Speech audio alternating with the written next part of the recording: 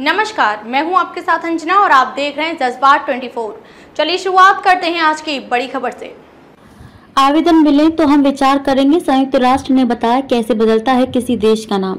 G twenty के रात्रि भोज कार्यक्रम के लिए राष्ट्रपति द्वारा भेजे गए निमंत्रण पत्र में प्रेसिडेंट ऑफ़ इंडिया की बजाय प्रेसिडेंट ऑफ़ भारत लिखने पर अटकलों का बाज़ार गर्म है। ऐसी चर्चाएँ हैं कि सरकार देश के नाम से इंडिया हटाकर सिर्फ़ भारत कर सकती है। इन अटकलों के बीच संयुक्त राष्ट्र ने बताया कि किसी देश का नाम बदलने की क्या प्रक्रिया है। संयुक्त राष्ट्र ने कहा कि जब हमें नाम बदलने का आवेदन मिलता है, उसके बाद ही नाम बदला जाता है। संयुक्त राष्ट्र ने दी जानकारी। दरअसल मीडिया के सवालों का जवाब देते हुए संयुक्त राष्ट्र महासचिव एंटोनियो गुटेरस के उप प्रवक्ता फरहान हक ने तुर्की का उदाहरण दिया। उन्होंने कहा कि जिस तरह तुर्की के मामले में वहाँ की सरकार ने नाम बदलने को लेकर हमें औपचारिक आवेदन भेजा था, जिसके बाद ही नाम बदला गया। अगर हमें आवेदन मिलता है तो हम उस पर विचार करेंगे। आपको बता दें कि विपक्ष आरोप लगा रहा है कि केंद्र सरकार देश के नाम से इंडिया हटाकर उसे सिर्फ़ भारत करने की योजना बना रही है। हालाँकि सरकार ने इस पर कोई आधिकारिक बयान नहीं दिया है। पीएम मोदी ने मंत्रियों से की विवाद से बचने की अपील।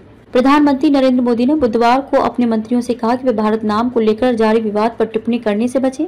जी ट्वेंटी सम्मेलन के दौरान क्या करें और क्या न करें, इसकी जानकारी कैबिनेट के मंत्रियों को देने के दौरान प्रधानमंत्री ने ये बात बताई। प्रधानमंत्री ने कहा कि जी ट्वेंटी सम्मेलन के दौरान वह राष्ट्रीय राजधानी में ही रहे और इस खास आयोजन के दौरान अपनी जिम्मेदारियों का अच्छे से निर्वहन करें ताकि सम्मेलन में आने वाले मेहमानों को किसी तरह की कोई परेशानी ना हो।